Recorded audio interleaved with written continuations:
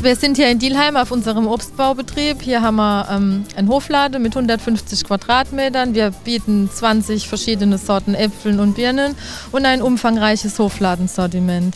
Außerdem sieht man hier schön im Hintergrund unser Kaffeestadel, in dem man jetzt gerade zur Saison auch kleine Spargelgerichte und hausgemachte Kuchen und Torten bekommt.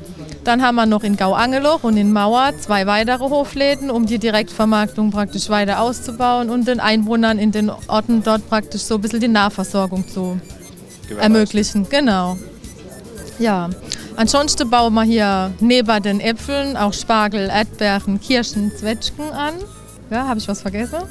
Nee. Ja. Genau. Und dann haben wir noch den Heimservice, Freudensprungs Hofkiste, in dem wir Woche für Woche ähm, den Kunden von uns zusammengestellte Obst- und Gemüsekisten nach Hause liefern.